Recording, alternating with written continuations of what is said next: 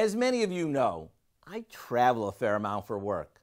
So when I find something at a hotel that makes me feel at home, you can only imagine how happy it makes me.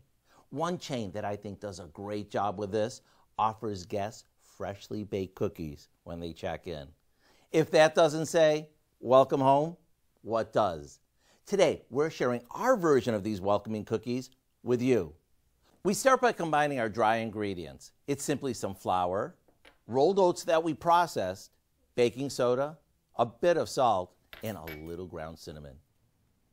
Now, we set that aside while we beat together some butter, white and brown sugar, and a splash of vanilla. Once it's light and airy, we beat in a couple of eggs and our dry ingredients. The only thing left to do now is slowly stir in our walnuts and chocolate chips and spoon this onto a couple of baking sheets. Now you can bake them right away or you can freeze them and bake them right before you want something sweet hot out of the oven. Either way, whenever you do bake them, you can bet your whole house will be smelling like the irresistible combination of cinnamon and chocolate.